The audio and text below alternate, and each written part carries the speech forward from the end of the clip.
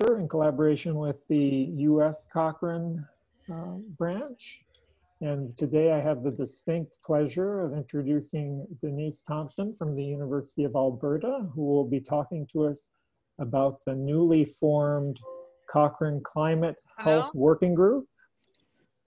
Hello, welcome.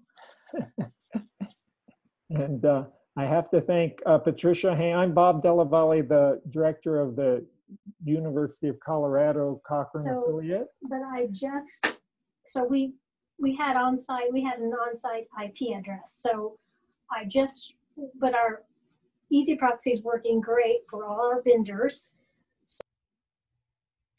Okay, I think we just had a little interruption from somebody who realized that they were not on mute, uh, a common Zoom occurrence.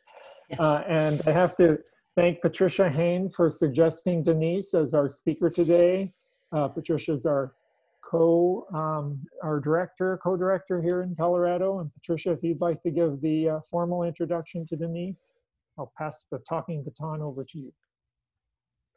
And thank you, Denise, for joining us. Yes, uh, uh, I'm very honored to introduce Denise and to be also a member of the group that she forms, which has been a very prolific, productive group. Uh, Denise has been moving and uh, shaking the science of climate health. Um, I'm looking forward for her dissertation and future publications.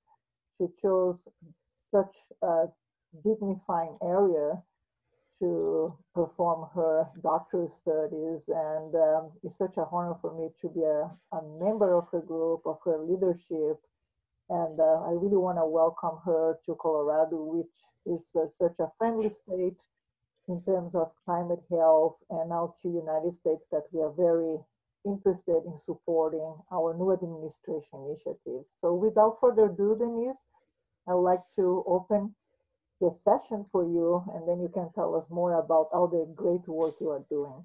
Thank you. Okay, great. Thanks. Thanks very much, uh, Bob and Patricia and everyone for coming.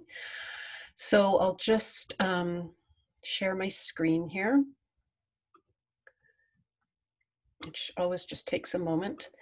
Um, so just um, um, because it's the Zoom era and everyone's working from home, I'll just start by mentioning I have uh, two dogs who love nothing better than to bark uproariously during my Zoom calls. So my daughter is on dog duty for the coming hour, but in the event that they do interrupt, I, I apologize in advance. So um, the topic of uh, today's session is the is an update from the Cochrane Climate Health Working Group, um, which I'm involved in um, in my capacity as a PhD student at the University of Alberta. Um, so there's there's two things on this screen, and um, I've I've tried in making my slides to make them um, kind of really legible on on a variety of screen sizes. Um, hopefully, I've I've mostly succeeded. Um, so I have my overview on on the left hand side, and then the tweet that went out about this. Um, just to kind of uh, illustrate the, the so the tweet is talking about how um, that saying I will present on how evidence synthesis informs the discussion about the impact of climate on health and health systems. And that's actually uh, an absolutely enormous topic that, um, uh, I mean, people, there's armies of people devoting their whole. Uh, their whole academic careers to that. So what I'll try and do is kind of take that as my my overarching thing for talking a bit about Cochrane and why it needs a, a, a climate health working group. Um, so I'm going to spend some time talking about the uh, the overall health impacts of climate change. Um, some of you may know a lot about this. Some of you may be less familiar. Um, but I'll spend a little bit of time on that, and then I'll move to talking about um, the Climate Health Working Group. Um, and in the last 48 hours or so, I've been adding and subtracting and changing slides. So I'm no longer 100% sure how long this presentation takes, but my hope is that um, unless I really get carried away talking, there will be time at the end for questions. Um, so just to quickly tell you what I'm going to tell you, um, to give you a bit of the framework, because I always find it helpful when, when people do this. Um, so climate change uh, is associated with a wide range of impacts on human health, of course, animal health as well, the whole, all sorts of health, health and health systems. And these are mediated by social, economic, and physical factors. Um, and so, which makes the study of, of climate change and health really fascinating and complex. Um, I'm going to argue that research is needed on appropriate evidence synthesis methods for this literature. Um, and, um, and that's actually where I've been moving my, my doctoral studies to. Uh, and then I'll tell you a bit about um, the many people within Cochrane who are eager to use their skills, um, particularly in evidence synthesis, to respond to the climate health crisis. So, who am I? Um, I'm uh, I've I'm a PhD student, but I'm I've started graduate studies in in midlife. I have about 20 years of experience in health promotion and health research. Um, I've been part of Cochrane since 2004. Um, that's a list there of some of the roles I've held. So um, I have a deep affection for Cochrane and the people in it. I think it's a, a fantastic organization, and and I'm proud to to be part of it. Um, in uh, and uh, and I love the the community and the people I've met. Um, in 2019, I think, I started a PhD program, a part-time PhD program in the Faculty of Medicine and Dentistry at the University of Alberta. Um, and uh, I'm going to be studying, working on my proposal right now, going to be carving out a topic around evidence evidence synthesis methods for climate health impacts. Um, and, um, and actually my work with the Cochrane Climate Health Working Group has been um, really helpful for me in guiding my own thinking. So I'm going to assume that since you've showed up today, you're, um, you um, accept that, that climate change is, is, um, is, a, is something that's happening.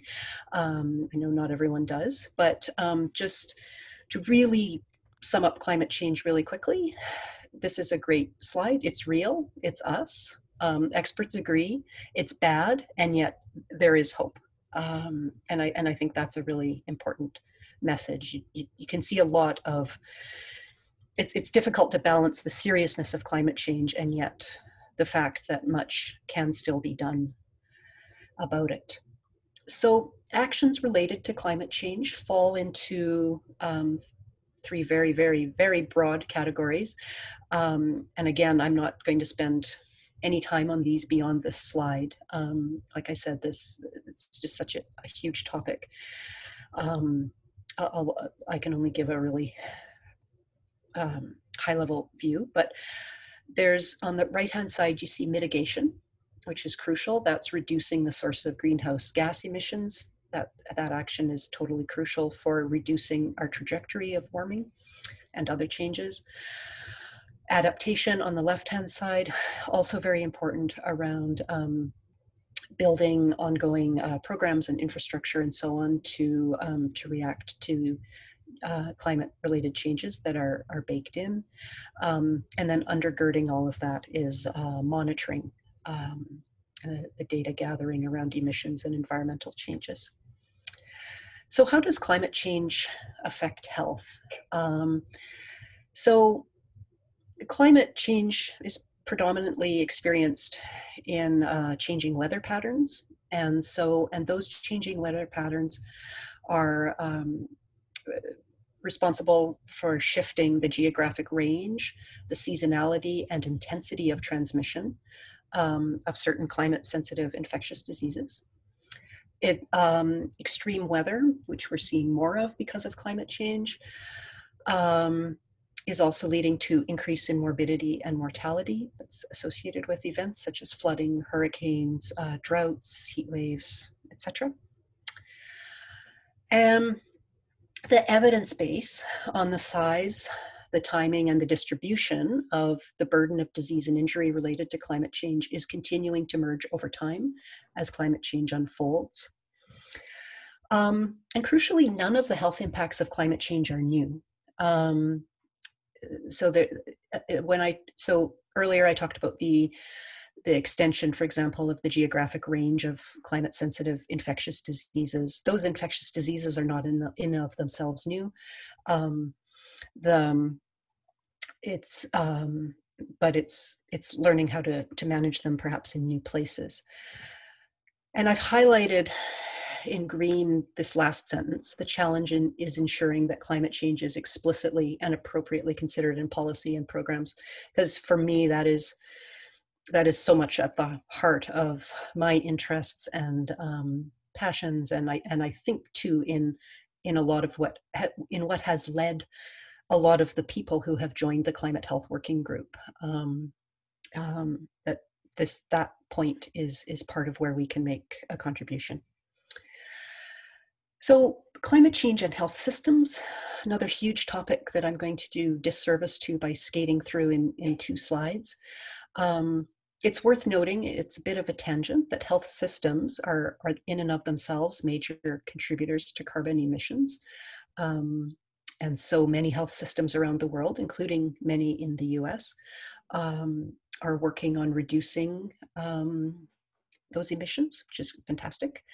Um, I wanted to find a US example of um, the impact of certain climate sensitive weather events on health systems. So I picked this um, note among the, the many, many devastations associated with Hurricane Maria. Um, one, one impact was disruption of the supply chain for health systems in the US um, because of um, uh, the, the loss of uh, an ongoing supply of, of IV bags. So uh, the WHO, the World Health Organization, um, has identified these 10 dimensions of um, what it takes to build a climate resilient health system. Um, I'm not going to spend time going through these, but even if you just scan them, the reason I, I put the slide in was so that you could scan the list and get a sense of the breadth to which um, health systems have to be thinking about climate change. as you can see, it, it shows up everywhere from um, the, the, you know, training and support of your health workforce um, through to uh, emergency preparedness and management programs and, and much else besides. Um, so to uh, this is a slide developed by uh, your uh, CDC, Centers for Disease Control and Prevention. Um, so in the center, you can see the, the four phenomena of rising sea levels, more extreme weather, rising temperatures, the increase in carbon dioxide emissions, and then radiating out from that some of the health impacts that we see, or some of the climate change impacts that we see, and then broadening out again to um, uh, human health impacts. Um, and I love presenting this slide because I find people really, um, it, it's really helpful for people um, that, that, that the way it, it, broadens out like that really helps people wrap their heads around the, um, the, the breadth of, of health impacts from climate change. So because I'm presenting to a Cochrane crowd, and um, I thought I would uh, spend a couple of minutes on uh, confidence ratings for the evidence. Um, so um, I'm going to spend, um, I think, the next four slides going through this um, the, these tables. Uh, and again, if you're on a small screen, you won't be able to to read these in detail, but that's okay. Um, what I'm what I'm trying to show is just um, a couple of things. So first, on the right hand side, or sorry, left hand side, we're seeing um, here um, the category of direct effects of of climate change on health. Um, so, talking about things like increased number of warm days and nights, where you can make a really clear link between climate change um, and this certain weather phenomenon. So here, over here on the right now, the health impacts are here, and there's a very high confidence rating based on available evidence about that. Um, below, however, um, that we see um, uh, the health impacts of a decreased number of cold days and nights. So I'm talking to you from Western Canada, where um, today it's uh, minus 18 Celsius. So we we spend a lot of time thinking about cold weather where I live. Um, and certainly with the decreased number of cold days and nights, it seems very plausible um, that there will be uh, some improvement. For example, if if people are precariously housed, street people, um, they um, obviously it's a lot easier for them if there's there's less cold weather. However, overall, um, sorry, where did my arrow go? Oh, it's back. Overall, the confidence rating here is low. Um, and that's that's just partly due, I think, to um, a lack of study, um, but it highlights that what seems intuitively um, straightforward doesn't actually have a strong evidence base yet. So here, um, on the left-hand side, there's a category of effects mediated through natural systems. So a little less direct uh, relationship between climate change over here and health over there. Um, and just for the sake of time, I'm not going to spend a lot of time reading them. But here um, we see very high confidence around increased risks of food and waterborne diseases, but only medium confidence around what that's going to mean for vector-borne diseases, such as um, uh, vectors meaning mosquitoes and ticks and whatnot. Then, a little less direct, uh, we have uh, effects heavily mediated by human systems. So here is things like how higher temperatures and changes in precipitation that we also saw in the, the direct impacts. Um, what is that going to mean for um, nutrition, for example? Um, and here you see the food health risks being so lower food production, lower access to food during due to reduced supply and higher prices. Um, and that that's what they mean by effects mediated by human systems is that the effects of climate change as such also get diffused through social economic physical um, factors around um, class race um, poverty of the country you're in and so on. And that those factors that are not climate change factors heavily mediate how the climate change um, over here and the health impacts over there. Hopefully that made sense. Um, overall, um, we have a high confidence rating um, that there will be negative health impacts of climate change and those will outweigh um, any positive effects. Okay, so going back to this nifty CDC um, slide, um, just to, to sort of drive home that point a little bit around the fact that impacts can be both proximal or distal or in between a range that's a range not a dichotomy and that they're always mediated by social economic and physical factors. And so i put a green circle around just these two. Um, so where you've got up here you've got heat related illness and death which i've as i've already highlighted we've got a high degree of confidence and consider that a direct relationship. But down here where we're talking about forced migration, civil conflict, um, there's clearly a much longer chain between, um, say, a drought or a heat spell associated with climate change and those impacts. And those impacts will be mediated a lot through where you live, how poor you are, what gender you are, with you know your many other vulnerability factors. Okay, so this blank slide is a chance for me to draw breath um, and then change direction a little bit. So what about evidence synthesis? Um, so I love this sentence, which was published just a few months ago um, by, in the Journal of Cochrane's uh, sister organization, the Campbell Collaboration. Um, and this is they have just instituted a group within the campbell collaboration um, around uh, developing evidence syntheses on climate solutions. And so this editorial is is part of the the launch of that group. And there's these are really important points they're making here. There is no time left for trial and error. Um, so you know climate change is also already well underway. Uh, we know that um, even if we were to cease greenhouse gas emissions tomorrow, there are uh, numerous negative impacts that are already baked in just from the warming that's happened to date. Um, so we need to move quickly to prevent acceleration of further change. Um, their next point is resources for organizing a transformation into a carbon neutral world are inherently limited. And I'm sure I don't have to explain about limited resources to, to people working in healthcare. So there, what they conclude is decision making on climate solutions needs to be based on the best available evidence. So what does that mean?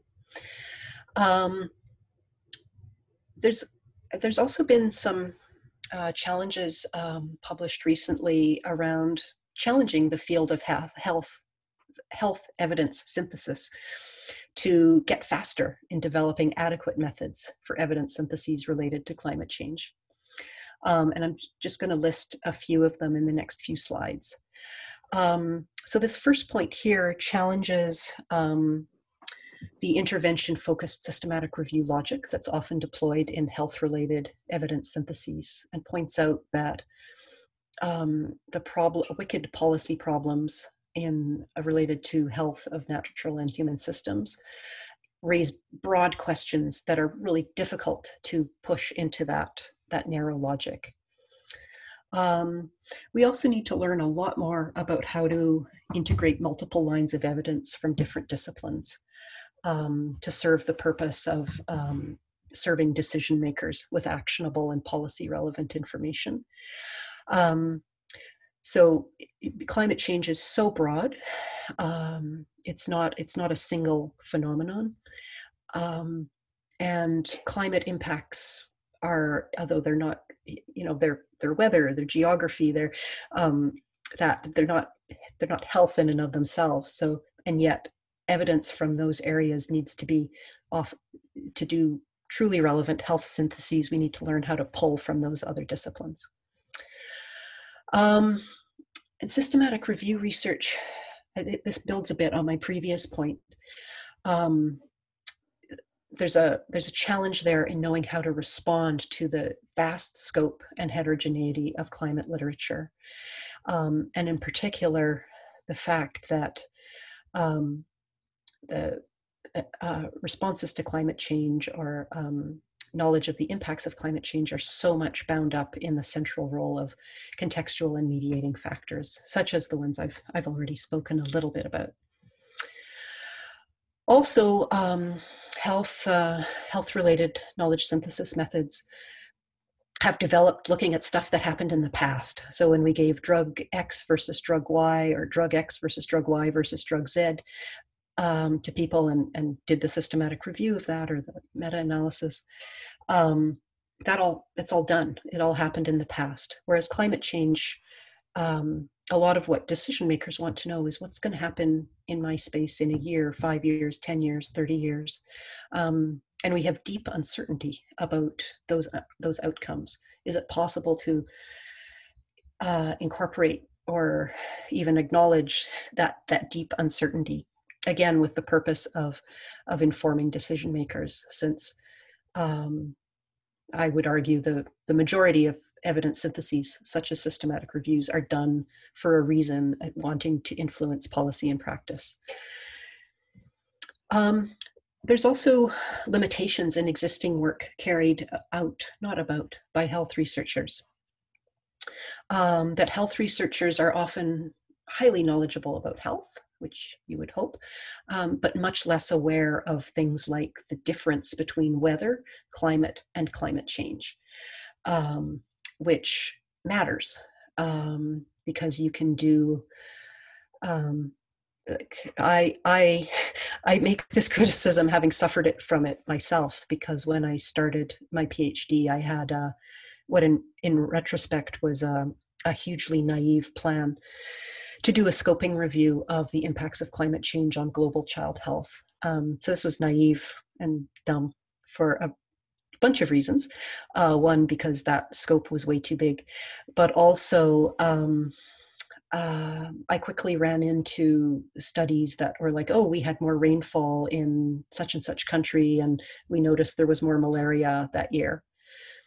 Um, and I quickly bogged down in the in like well is that climate change because you know, we've always had problems with more rainfall in a year and an, an increased or decreased prevalence of such and such health conditions. There's always been a relationship between weather and health.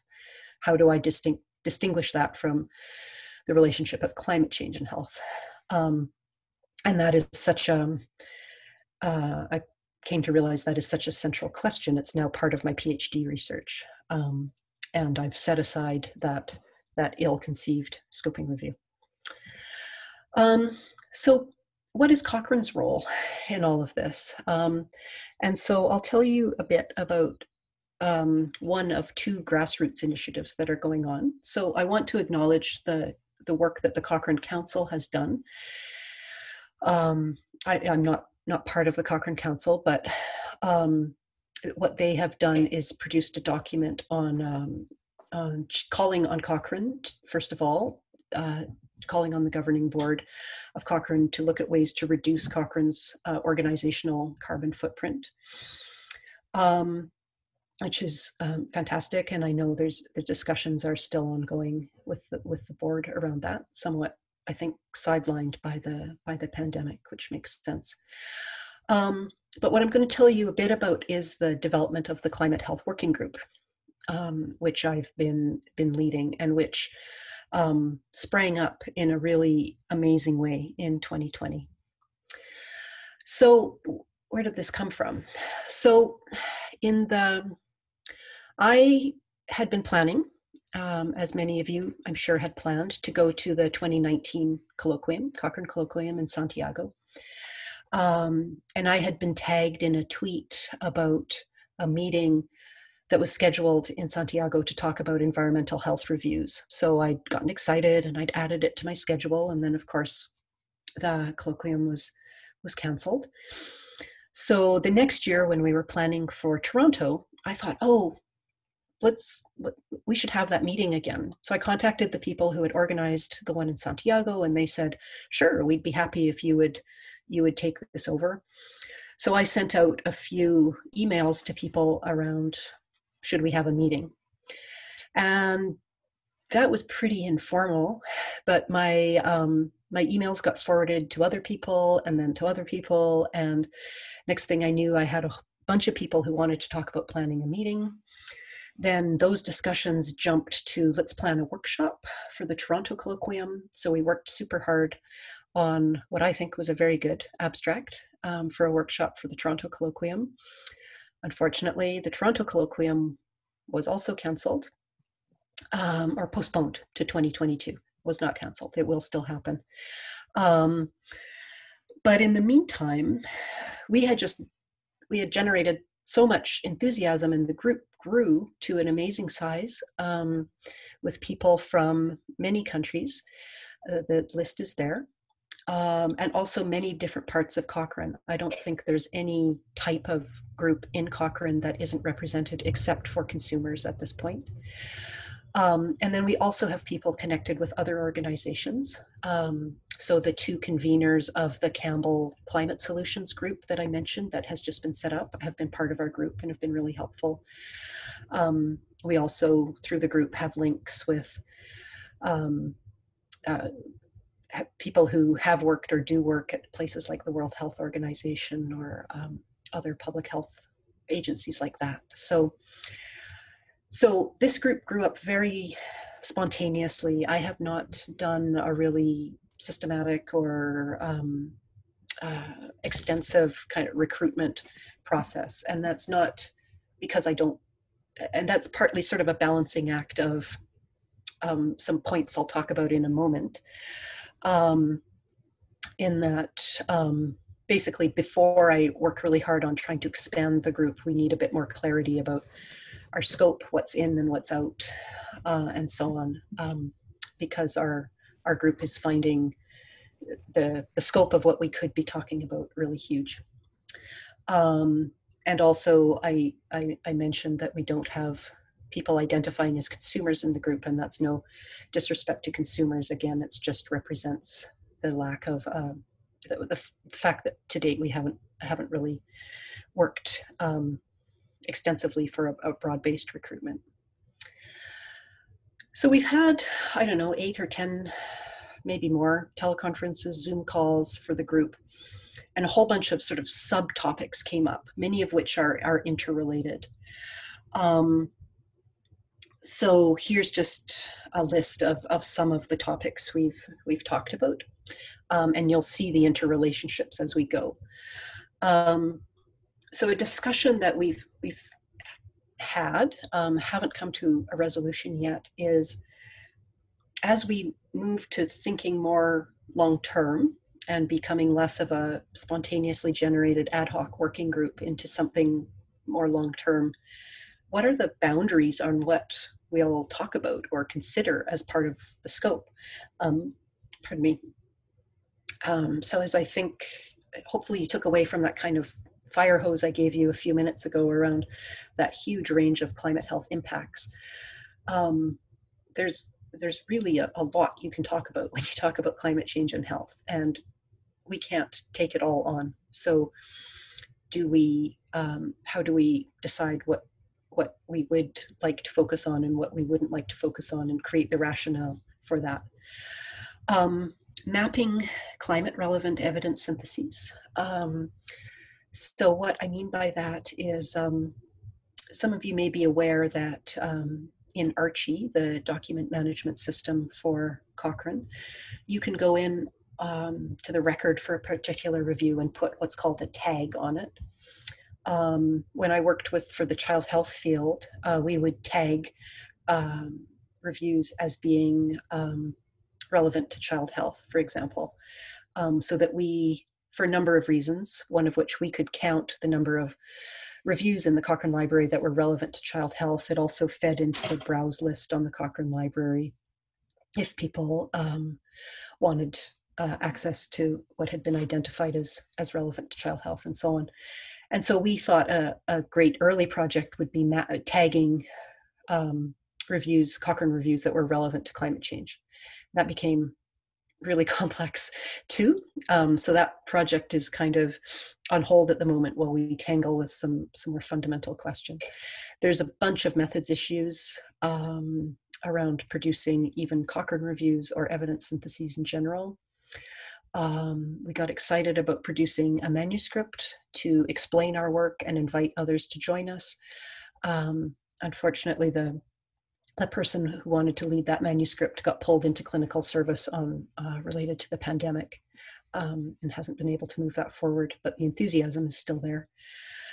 Um, the discussions about scope um, relate a lot back to what I was talking about earlier around the the, the boundaries of what's in and what's out, um, but also relate a bit to if we if we want to become a, a long longer term Cochrane group, um, do we become a field? Do we become a methods group?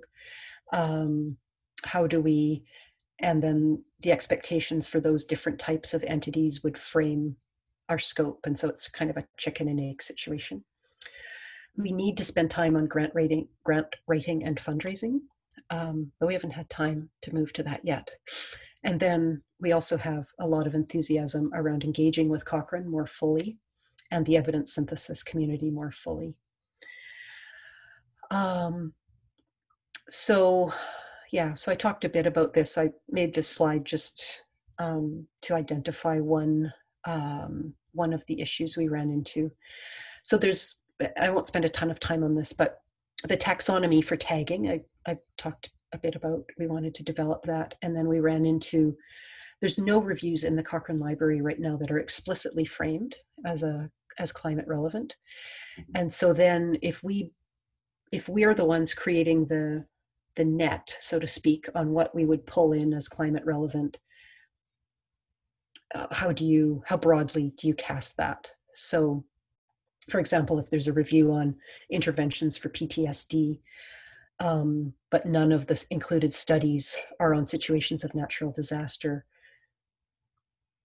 do we is that relevant? Like we know ptsd comes up from being exposed to natural disasters that are related with climate change um, but if the review doesn't include studies on natural disasters is it still relevant to climate change? Um, it's just a, a, small issue but probably of, of interest to some of you so, future directions and challenges for our group.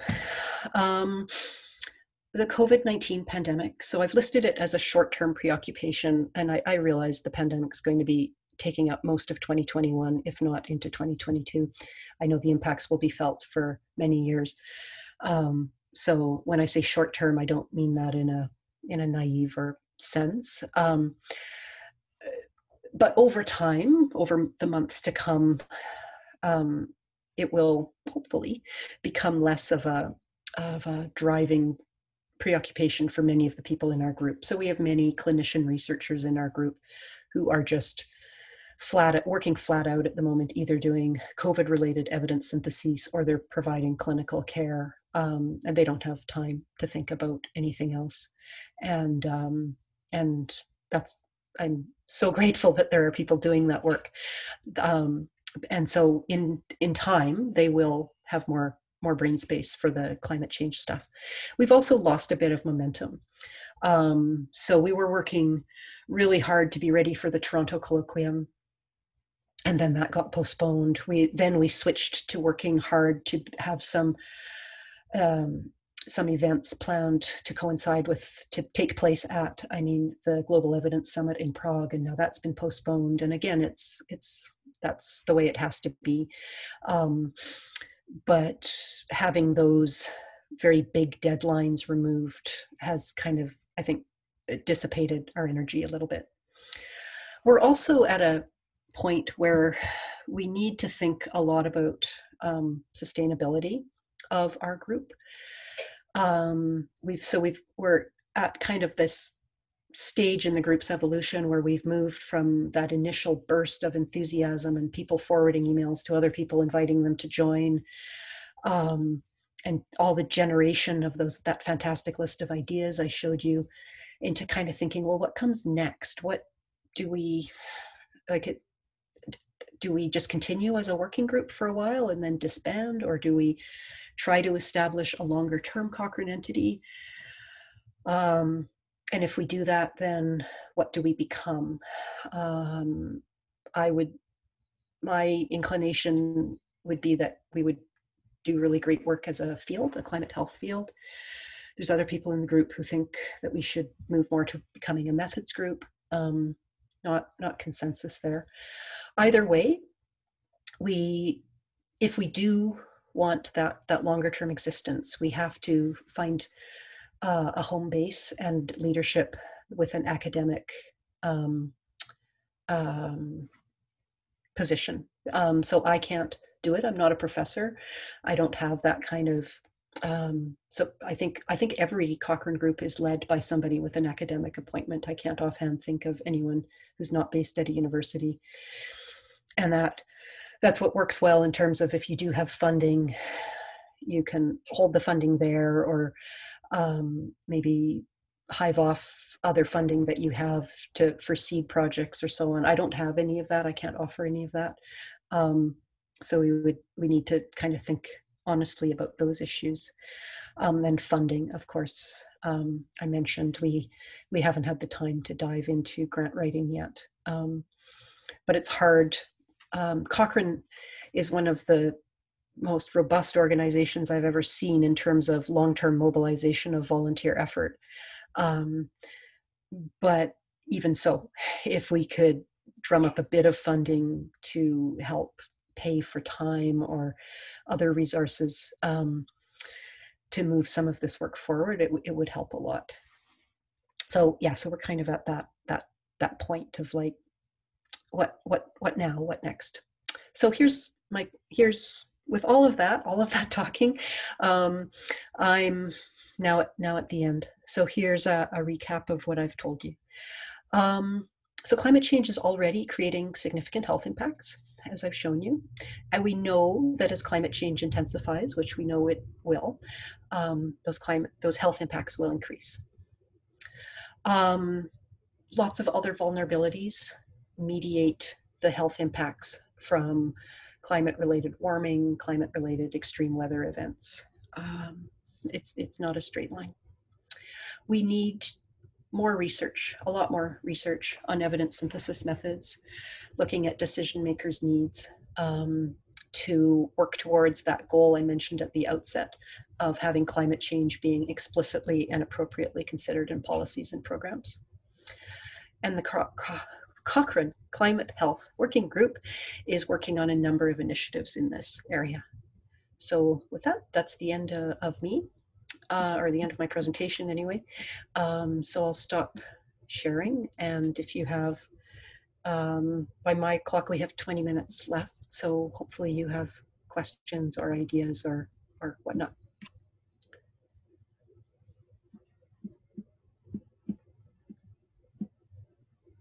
Thank you so much, Denise. That was a great presentation. And um, so I would like to open the session now. We have uh, some experts in the call. And even if you're not an expert, please, uh, this is supposed to be an informal uh, panel discussion. And I would like to open for your questions. Also, feel free if you want to use the chat for your questions, I can read, or also we have our uh, webinars uh, coordinators who can help us in reading some of your questions. So without further ado, any questions to Denise?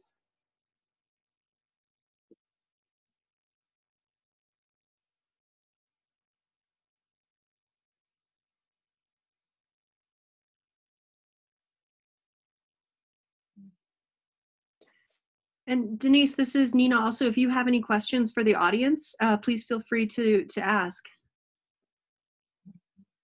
Sure. Um, yeah. So I guess um, one one point I'd like to throw out to the group because um, I, I see names I recognize in the. I just took a quick look at the participant list. Um, is just based on your knowledge of Cochrane or so on, maybe ideas you have about, um, you know, our work going forward in terms of pulling in more people or establishing that more solid base or or whatnot. I'm really that's a, a preoccupation of mine these days. So I'd, I'd love to hear people's ideas.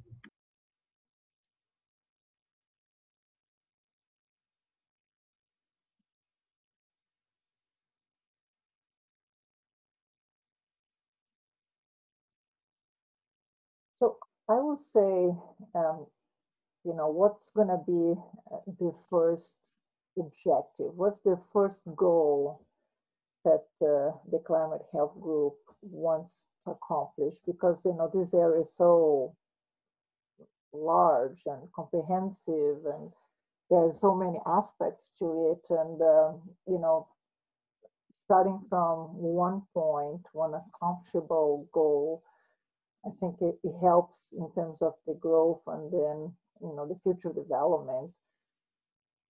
So as you who share this group and is there in the abreast of the evidence, what will you be the first task, the target of the uh, Cochrane climate health group?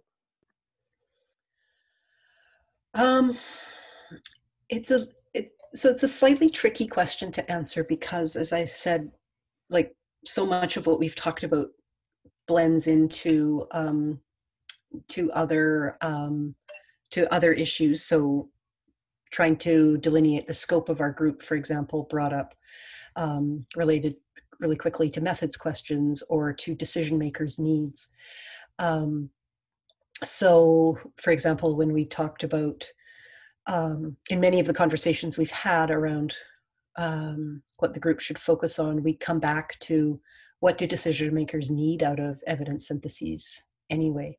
Um, and we were hoping to run a session on that at the Prague Global Evidence Summit, which we would have been a fantastic opportunity because that event was planned to bring together five organizations, not just Cochrane, but also Campbell and Jen and Joanna Briggs Institute. And I, I never remember all the all the groups, so I apologize to whoever I forgot. But um, so that would have been, I think, I think that is is a key area, and I I noticed there's a question in the chat around asking, like, are evidence syntheses about the health impacts of climate change actually going to help anything? Um, and are, are policymakers actually ready to engage? Um, and I really believe that, and I'm so glad you asked because this is going to be part of my PhD. Um, but I really believe that um, that they are, and I think that a lot of the work that's being done on responding to climate change is happening at a sub, what I call a subnational level. Um, obviously, I know way more about Canada than I do about the U.S., but I think some of what I'm saying can extrapolate that. Um, um, like in looking at um, here, subnational would relate to, say, provinces or cities. A lot of what um, uh, cities do, for example, um, around things like making cities more walkable or running snow clearing pro- projects in the winter or so on, um, that um, help help get people out of their cars and walking more or biking more, like bike lane uh, projects.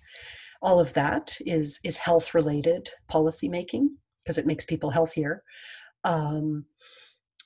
But it's it's happening at that that much smaller scale than um, than you see at, at a national level. So so anyway, the short answer is yes. I do believe policymakers are interested. Um, it varies by jurisdiction. So, for example, where I live is a highly highly conservative province where our leadership um, persists on tagging anyone who talks about climate change as um, foreign funded um, troublemakers but our neighboring province, British Columbia, um, there's information right on their Ministry of Health website about climate change and the impacts that those will make and the steps that British Columbia is taking to address those. So it varies a great deal. Um, so what I want to do in my PhD is um, is um, uh, do a one of the projects I want to do um, is do a scoping review on um, the factors that affect the development and implementation of climate health policy, and then also discuss those findings with a selection of policymakers to find out how they see climate change showing up in their in their job and what and what steps their organizations are doing about it. Um, so, and thank you. There's a, a response from John in the in the chat about. I guess there's just those four partners for the Prague Global Evidence Summit, which has been rescheduled. And Denise, did you see there was a follow up question from Susan? Kate, thank you for your question. Uh, but then Susan said you're answering my question. Yeah. it was similar question about policymakers. Who are they? How do we find them? And ask what they want. Yeah, yeah. And so the um, so part of that is is my going to be my PhD work. And then also, as I mentioned, um, one of the neat things about the Climate Health Working Group is it's brought in folks with connections, for example, to the World Health Organization or the Public Health Agency of Canada or so on. Um, and so that that has given us the potential for connections and conversations so not just for my phd but for the working group with those folks who can can really help us in terms of guiding what what they need um, and so one thing that policymakers do um, where they do draw on evidence is a whole field of research or work called vulnerability, vulnerability and adaptation assessments. Um, so those are um, projects that often done in a city or um, at a provincial state level around just exactly what you would say um, uh, mapping climate related vulnerabilities in that location and, and trying to develop plans to deal with them. Often, um, and uh, another really important point is that health ministries don't work alone in these responses. So if you're um, like we have where I live, a lot of issues with wildfires, um, very terrible wildfires where people are evacuated and the effects last for years. Um, and so obviously a, a, coordinated response to those involves your health ministry but also many other ministries as well. And so um, it, it'll be important to sort of dig a bit on on that cross ministry work and how syntheses how to frame syntheses that are seen as relevant for that. Because um, it's not it's not just a matter of you know do we approve this drug or not or do we administer it or not to it or which much more um, focused questions that we're often answering in health.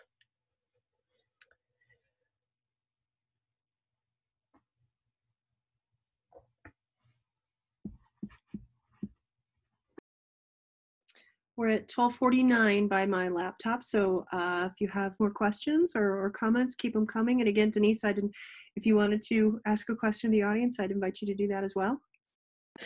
Um, yeah, I don't. I don't think I have much beyond beyond what I asked. Um, but um, um, certainly, people can always follow up with me. I know I've kind of done the the fire hose approach of of um, sharing a lot of of information. So um, you can always send me an email afterwards uh, and to follow up or or to find out more. So my email address is D Thomson, so D T H O M S O N. Um, that's Thomson without a P, uh, which is a less common spelling, at ualberta.ca. So that's U A L B E R T A dot C A. Um, and uh, I'm happy happy to answer questions at all because it all the questions I get help me help me think things through. So Denise, I put your email in the chat. Can you Oh. confirm that I heard you? I believe I got it all. yes, yes, that's that's accurate. Yes. okay. Thank you. Okay. I will also try to include the climate health group uh, website in case if anyone want to visit. Yeah, yeah, we have um, the Co- Cochrane Complementary Medicine Field kindly freed up a page on their website for us. So there's a bit of background there about what we're doing.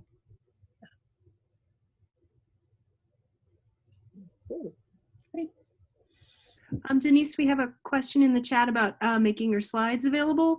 Um, we will have uh, the recording available. Um, I, I dropped the link to uh, the, the recording at the top of the chat. I can I can repeat it again.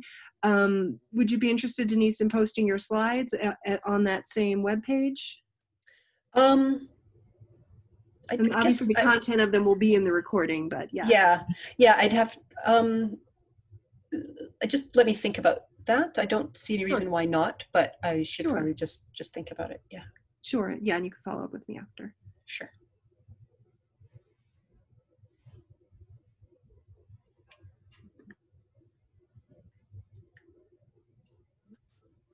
Okay, so we have the um, climate health working group uh, site. Uh, Mary um, added that for us. Thank you so much, Mary.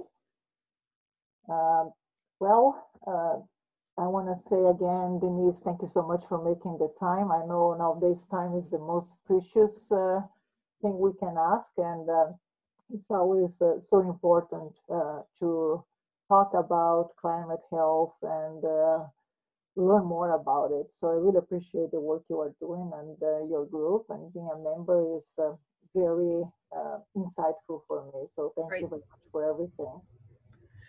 Okay, well, thanks very much for the invitation today. Uh, it was really helpful for me. I liked, I enjoyed ta- speaking with you, and the and the, the work of putting together the presentation was was very helpful for my thinking. So, great. Already. Thank Bye. you, Thank you, everyone. Okay, goodbye. Take care, everyone. Bye. Thanks. Bye bye.